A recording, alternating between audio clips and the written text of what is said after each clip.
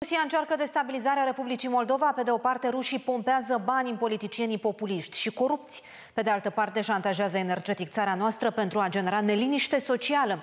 Strategia FSB-ului rusesc a ajuns în mâinile jurnaliștilor de investigație. Rușii vor o răsturnare de guvern la Chișinău, dar nu exclud și o intervenție militară.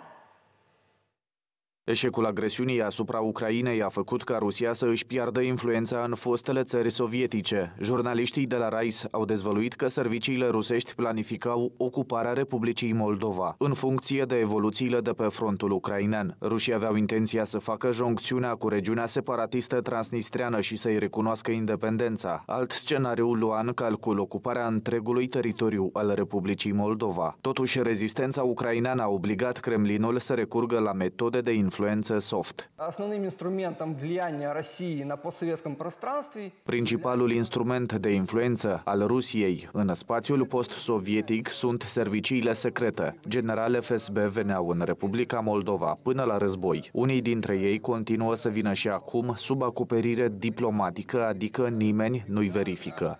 под дипломатическим прикрытием, то есть никто их не тормозит.